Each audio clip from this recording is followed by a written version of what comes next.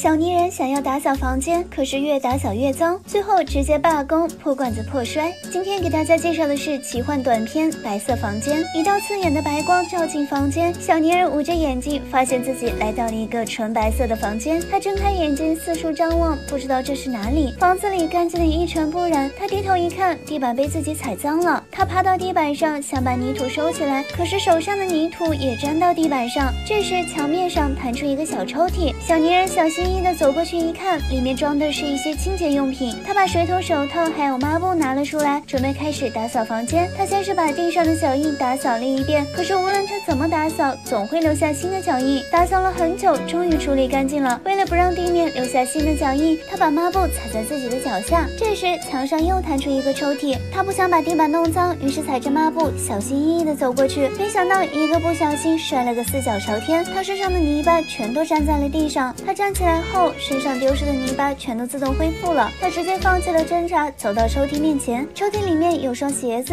他穿上鞋后心想，怎么不早点给呀？墙上的抽屉又开了，里面有一套衣服。小泥人穿好了上衣，可是穿裤子的时候，两条腿穿进了一条裤腿里，一个没站稳，又摔倒在地。这次他还把水桶打翻了，地板弄得更脏了。他感到很心痛，非常难过，于是坐在地上大哭了起来。他脱掉衣服，愤怒的从身上揪下泥巴，可是。无论他怎么弄，身上的泥巴都能很快复原。他把泥巴团成一个球，向墙面砸去，墙被他砸了一个大洞。他真是要崩溃了。他盯着这个洞看了好久，忽然意识到了什么，于是他朝这个洞走过去。他伸头一看，发现有另一个小泥人住在他隔壁，而这个小泥人并没有打扫房间，反而利用自己身上的泥巴把房间布置成了自己想要的样子，听着音在墙上任意涂鸦，看起来非常开心。